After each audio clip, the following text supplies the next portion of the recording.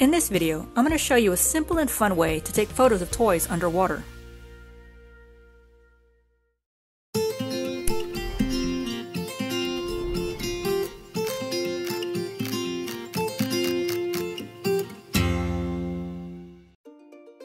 The problem with taking photos of toys underwater is that they tend to float to the top.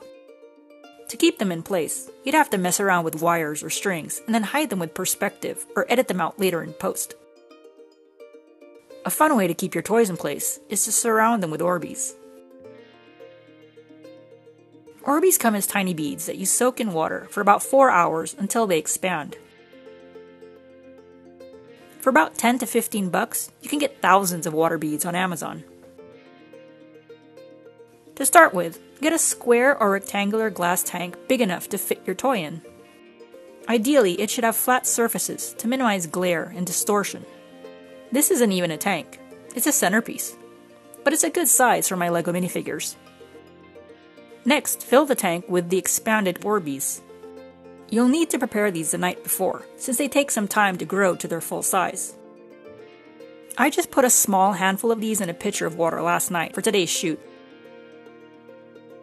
Next, pour water into the tank so that it covers most of the Orbeez. Use distilled water that's been boiled so you don't have to deal with too many bubbles. I shot a similar scene a couple of weeks before, but I just used regular tap water. There were a ton of tiny bubbles on my minifig that were too hard to get rid of, so I didn't. Next, put the toy in the Orbeez and push it down to about where you want it to be. There might be a few bubbles of air on it, so just try to dislodge them with your finger and turn it over a few times to release them from the pockets. It helps to let everything settle a bit before shooting, maybe around 10 minutes.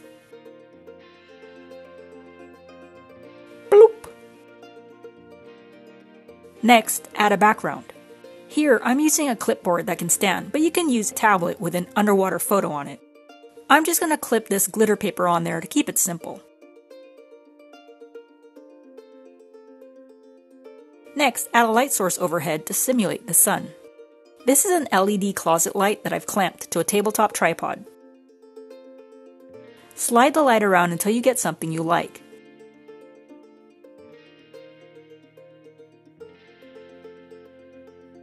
Move the background, checking for distractions like shadows from the edge of the tank or bright highlights from the LED. When you're happy with the way the scene looks, take some photos. Here are a few shooting tips.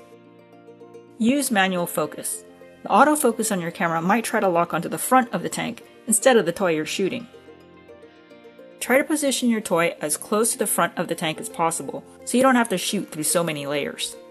The deeper it is into the tank, the less clear your shot's going to be. Now that we're done with the shoot, let's do some editing. Alright, so here's the first image I took right after I finished recording the video. I don't normally frame this wide. This is basically how I ended the recording, including the settings.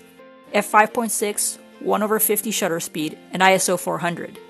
I took a bunch of photos with a tighter framing I like, but this first one turned out to have the most interesting lighting on it, so I'm going to crop in on this instead.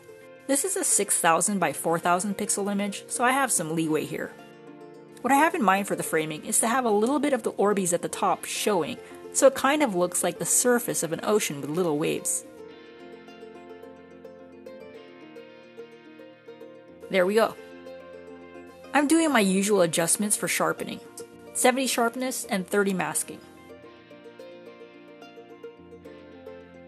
Luminance in the mid 20s to reduce color noise. First, I want to darken the bottom to make it look like light from the surface is dropping off much faster, like it would in the ocean. I'm going to take the graduated filter tool and just pull it up to where I want the lowered exposure to taper off. So about here is good. I'm dropping the exposure, just eyeing it to what I like. The adjustment covers the turtle and minifig a little bit, and I don't want that. So with the graduated filter panel open, I'm going to switch to the brush and hit erase here. Let me just turn on the overlay for the graduated filter so we can see what's going on. Okay, I'm going to paint over the turtle and minifig with my brush set to erase at 80%. I'm not going to be too diligent here.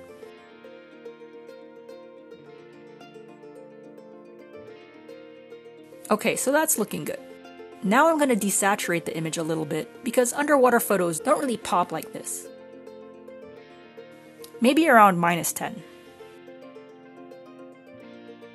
And then I'm just going to boost the clarity a touch since I shot through a pane of glass and I'm guessing two or three layers of Orbeez. Here's the before and after. Before and after.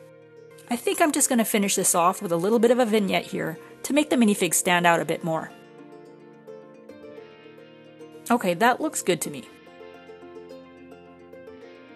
Here's a final photo. You could take it further and emphasize light rays, for example, but that's beyond the scope of this video. So there you have it. Super easy setup and simple editing. Orbeez are really fun to work with. Apart from using them in tanks like this, you can also do some really cool macro photography in nature. If you like this video, let me know by hitting that like button or leaving a comment. And if you want to see more behind the scenes and toy photography tutorials, make sure to subscribe. If you use any of my tips in your toy photos, tag me on Instagram at fourbrickstall and I'll come by to check it out. Thanks for watching!